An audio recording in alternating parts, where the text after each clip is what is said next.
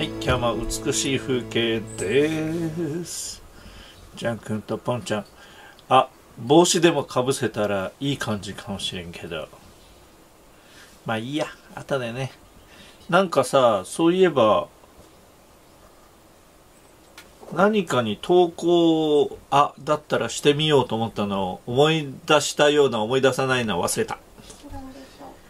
なんだっけな、人みたいな、あ、なんだっけね、忘れちゃった。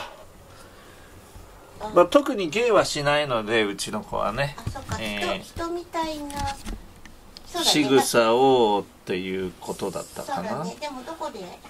なんかのテレビだったか、朝のテレビか、スッキリとかかもしれない。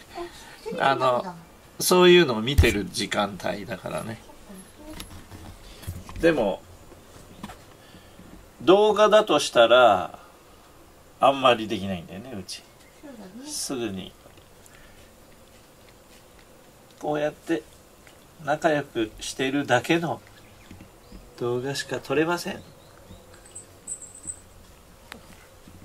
仲良くラブラブが時々バトル、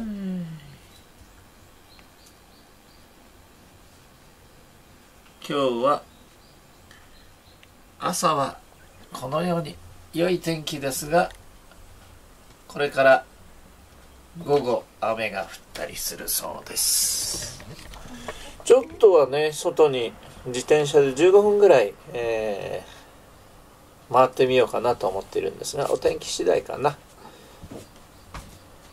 えー昨日本当は出たかったんですが昨日は湘南かどこかのサーファーの人たちがたくさん、えー繰り出していたということのまあ反省のため僕が家で自粛しました。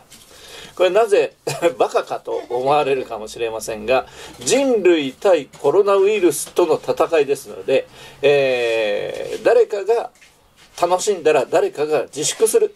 これわかるかな？僕の気持ち。その代わりジャン君とポンちゃんは喜んでおりました。